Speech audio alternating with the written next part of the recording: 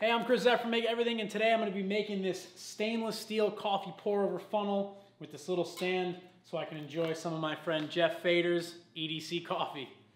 Check it out.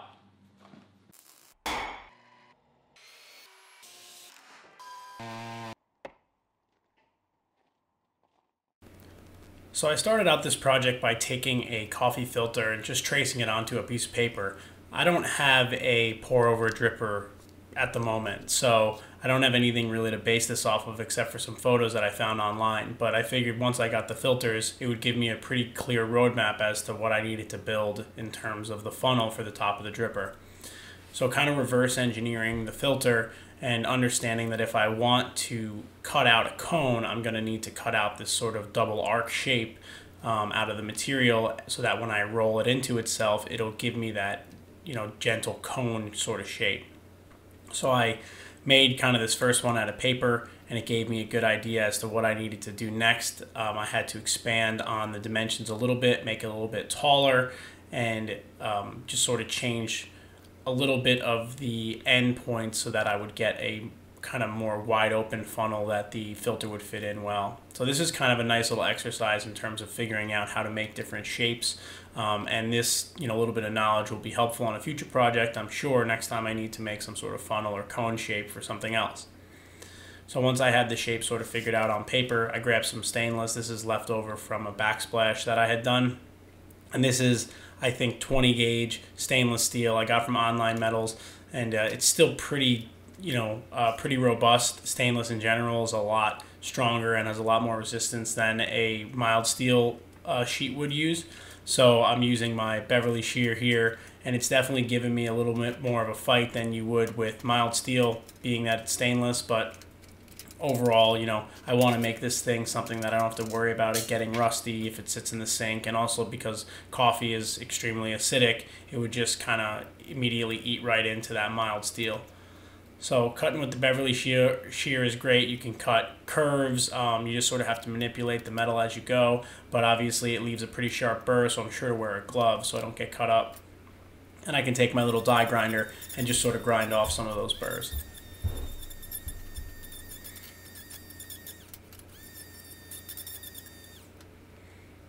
Now I had actually given this uh, an attempt prior to the one that you're seeing right here. And instead of using my slip roller, I actually tried to hammer the shape over the horn of the anvil. And it worked out pretty well, but it was pretty labor intensive and it didn't really give me a uniform shape. So after I sort of kind of thought about it and, and regrouped, I thought, well, why don't I try the slip roller and see how it works in making a cone shape like this. And I was pleasantly surprised that if I tapered the rollers and sort of fed it in straight, try to make it uh, perpendicular to the axis on the bottom every time I rolled it, I could get a pretty nice funnel shape and a pretty uniform shape in general out of the slip roller. And this is just like a cheap Chinese ship slip roller that I got on Amazon. And it, it's not great, but it did uh, manage this process pretty well there's definitely a learning curve here because I would either over tighten it or under tighten it, and I wasn't able to actually get the two ends to meet using the slip roller. But that's okay because I was able to manipulate them uh, with my hands, and then over on the anvil, I was able to kind of force things into the right spot.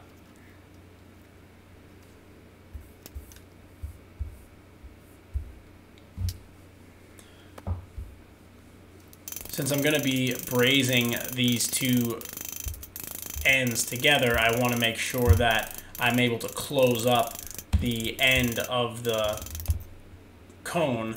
Um, and in order to do that, I go over to the anvil and I just start hammering in on the shape and it's going to help me close up those ends using this little body chasing hammer. And I'm just sort of watching those two ends, just trying to get them closer and closer. I bend them a little bit in with my hands, but overall, just by sort of hammering them and, and sort of shrinking the metal around that that horn, it was able to help me close these things up enough that once I go to uh, braze them, there'll be a nice lap joint there.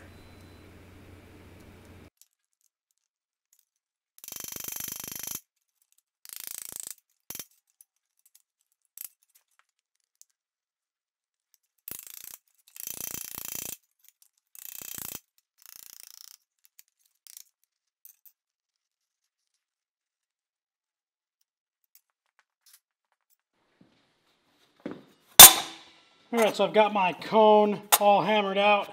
Now I'm gonna braze this together. Um, I was gonna TIG weld it, but I don't have any stainless rod at the moment. So I've got this handy little chart from Harris. Uh, and what I can do here is just look up what I gotta join. In this case, it's stainless to stainless. And it'll tell me the different filler metals I can use, um, some information about them, and then the type of torch. So I have some uh, safety sill 45 on hand, and I have the white brazing flux, and I have a in, uh, and I have a Harris Inferno torch. So Harris Inferno is just an acetylene torch, no oxygen. So using this thing is great. It just helps me make sure that I'm using all the right stuff. Got my solder, got my flux, torch. Let's get this thing joined up and try and not ruin it. So I'm going to be using a white brazing flux, which is nice because it has the brush in the cap, so I don't have to go out and find a, uh, a little acid brush every time I need it. And what's important here is to get a nice tight fit on these pieces of metal. Um, you know, normally if you were soldering or brazing like a piece of pipe, it's a pretty close slip fit. Now, since this is a lap joint, it's a little more difficult, and you've got to kind of combat the heat because uh, heat will make any metal warp. So I just heat this stuff up with the oxyacetylene torch. It gets hot pretty quickly, and then I add the Safety Sil 45 uh, brazing rod, and it flows into the joint pretty well. Um, I kind of overfluxed this, I think, and as a result of that, I got a lot of the you know, brazing alloy on parts of it that I didn't want. It's okay, it does grind off, but the stuff sticks really, really well. So if you get it anywhere you don't want to, you definitely have to spend a little bit of time grinding it off. I'm using one of these cool um, multi purpose wheels from Pferd Abrasive. This is a little bit of like Scotch-Brite with some sanding paper in between it. And it does a really nice job and gives a nice finish um, over on that solder joint. And then I go over to one of these nylon wheels on the bench grinder and that also helps clean it up and gets a lot of the heat marks off of it. The last step was going over to the belt grinder and here I'm starting with my platen installed just to kind of grind out that line and then you can see what's nice about this grinder in particular is it's it's going to be really quick for me to take that platen out and use a slack belt. Now for uh, you know an organic kind of shape like this, I don't want to leave any hard lines in it. So it's nice to be able to quickly just pull that platen out and then have this nice big slack belt area that I can lean into and you can see the way the sanding belt contours to the metal and I can really kind of blend out any marks that I might have left in it or any heat marks from the brazing process. This is a Brodbeck's Ironworks 2x72 grinder. I'll throw a link down in the description. They support me in my shop and you should check this thing out if you're in the market for a grinder. Now once I was done with the sanding paper, I went back to a surface conditioning belt and again just trying to kind of even everything out. Now I'm going to wind up going through this process of, of grinding and cleaning up this funnel a couple times because every time I add heat I want to make sure I remove those marks but kind of just working through it and understanding a base point is really good. Now for the inside of the funnel, I went over to my sandblaster and I just blasted out all the heat marks and tried to remove any impurities or any flux or braze that might have gotten in there. I can go back over and throw my flat platen back on the grinder and I can grind out the bottom of this cone so that when I go to braze on the bottom plate, I have a nice flat surface. Um, obviously, the way that I rolled this, I didn't get a perfectly flat mating surface, but I wanted to sit nice and flush and grind the bottom and top using the flat platen.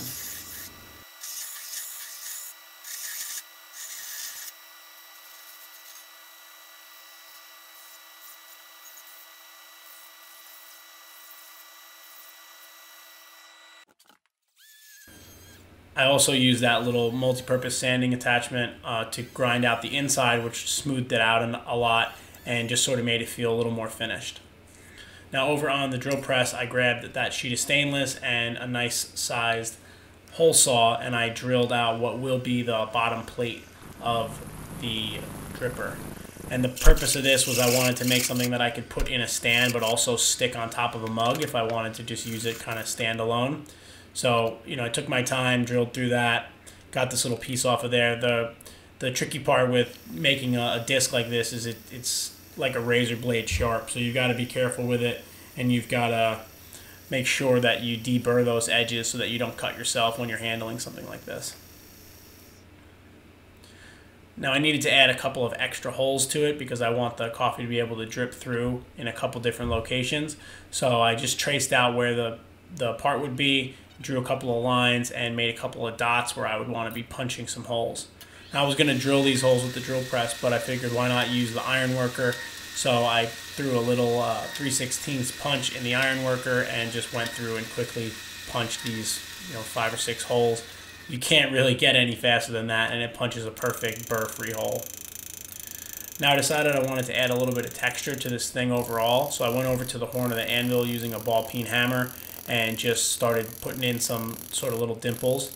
Now this was a pretty time-consuming process, but in the end I, I think it helped with just the overall aesthetic of the piece, and it also just you know hid some of my crimes, made sure that it all kind of had the same sort of look. I degreased the bottom plate and figured out how I was going to fixture it up. I wound up kind of making an attempt at soldering it and then having to go back and do it again. So here you're seeing me grind off a little bit of that braze. And um, once I got that all sort of cleaned up and ready to go, I'm able to fixture it up using that little piece of scrap plate, a clamp, and a piece of angle steel.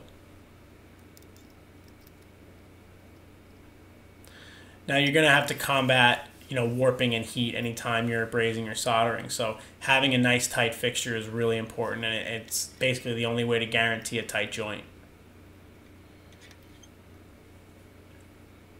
I've got my fume extractor running as well because you want to make sure that you don't breathe in any of the chemicals that are coming off of uh, you know the material or off of the brazing alloy or the flux. Now, originally I was going to TIG weld this project, but at the time that I was making it, I didn't have any stainless rod. So I figured why not give this a try. This is my first time doing any stainless steel brazing. And overall, I think it was a really great learning experience because this is, you know, this is how you prepare yourself for the next project for a client is by doing sort of projects like this for yourself um, and finding out the ways that you can make mistakes and learning from them uh, so that when you have to kind of do the real thing, you're more prepared. Now I decided to use a little bit more of the stainless that I had to make a little stand. I see a lot of these coffee uh, drippers have a little sort of, you know, square stand that the coffee can kind of drip through so that you don't have to put it on top of your mug directly. So I marked this out with a tape measure and I went over to the jump shear and just sheared off a piece. And the other lines I put in there are going to be useful for the bending. Now this is a Baileigh mag brake. This uses uh, electromagnetic force to clamp that presser bar on the top and then it's kind of like a traditional bending brake where you've got this leaf that flips up but what's really nice about this is the fact that the presser bar is so small and you can basically wrap things around it. Something like this is really versatile. Um, you can do a lot of different types of bends with a magnetic brake like this and you can do things that you wouldn't normally be able to do with a standard finger brake or a straight brake.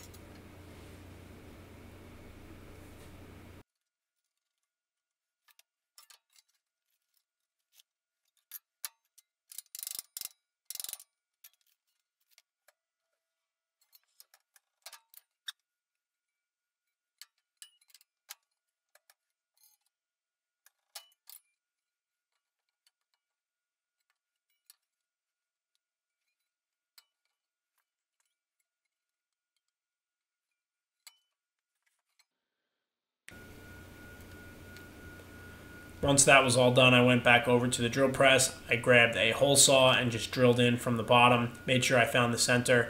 Now I wanted to make sure I did this after I bent it because I didn't want that hole to cause the metal to bend strangely and also if I had kind of messed up my alignment when I was bending this, I wanted to make sure the hole was going to be dead center no matter what. Again, I just have to deburr that hole because anytime you drill with a hole saw, you usually wind up with a pretty sharp point. Now, the whole time I was doing that, I was allowing the um, dripper to cool, and I let the fume extractor stay on it, which just helps air rush over it, which just helps it cool that much quicker. And I can pull the plastic protecting off of this stainless little um, frame that I built. That thing's good to go. and then a little bit of cleanup on the funnel itself. Kind of the same process, going over to the wire wheel using this little uh, multi-purpose sander and just sort of getting in there, getting in all the nooks and crannies, cleaning it up and polishing it. Kind of gives me a nice a nice look. Uh, the only other thing I had to do was the bottom of the flat plate had warped a little bit from the heat, so I just grabbed an adjustable wrench and kind of wrenched it back in, tried to get it a little bit flat. You know, I'm not going for perfection here. I just sort of wanted to experiment and make something new, so it's not a huge deal. Now the last thing I noticed was that the coffee wasn't dripping straight out the bottom. So I took a punch and I actually dimpled the bottom of the dripper. And this will kind of make the surface tension of the coffee drip straight out the bottom instead of rolling around the sides. That was a nice little solution and it worked out really well. The coffee drips straight out of the bottom and it doesn't kind of cling to the bottom of the plate and roll out the sides and leak all over the counter one last kind of pass on that nylon wheel, a little more deburring, and this thing is good to go. I can bring it home and give it a test run.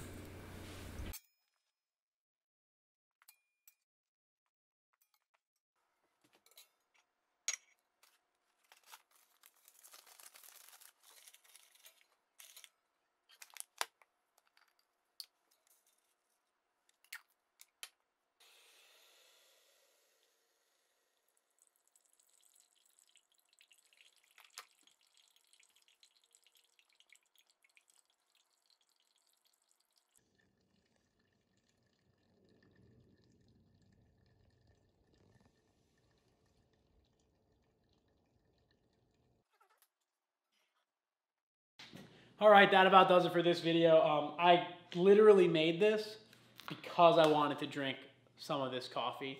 Uh, my buddy Geoff has teamed up with Peekskill Coffee to do a great blend uh, called the Everyday Carry Coffee. Uh, I got it in the pour over grind. And a percentage of the proceeds go to uh, helping with the COVID-19 crisis. So check out Geoff's Coffee. And if you're not familiar with Geoff's work, he's an incredible knife maker um, in upstate New York. And I'm gonna put some links to his Instagram down in the description of this video so you can see the amazing work that he does. And I will also put a link to this coffee. You can go and buy it. So a little note about the solder that I used. Um, after I made this, I reached out to my friends at Harris and asked them if they had any documentation about the solder that I used. I used Safety Sil 45. Now, Safety Sil 45 is considered food safe by Harris, but there is no documentation or testing done by the FDA for that particular solder. Now, they do make other solders that are 100% food safe and tested. So if you are gonna make one of these for yourself, I recommend that you use um, one of those tested solders that have the documentation behind it, just in case you know somewhere to use it, you want to make sure you're using the right product. So um, this worked out pretty good for me. I'm very happy with it, and overall, I'm pretty happy with the project. It was a good learning experience.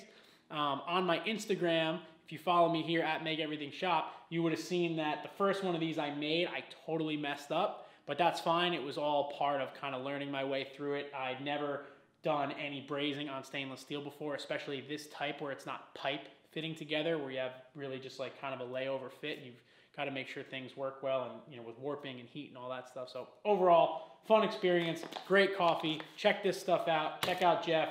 And uh, thank you to Harris for sending me the torch and solder for this. Anyway, I hope you enjoyed this video. If you liked it, please give it a thumbs up and leave me a comment down below if you have any questions. If you want to see more stuff like this, more videos in the shop making stuff, you can subscribe to my channel. And like I said, follow me here on Instagram. You can see kind of what I'm doing on a day-to-day -day basis. Uh, thanks to Harris for hooking me up with the stuff that I used to make this. And uh, thanks to Geoff and Peekskill Coffee for making something awesome. Hope you enjoyed it, and I will see you on the next video.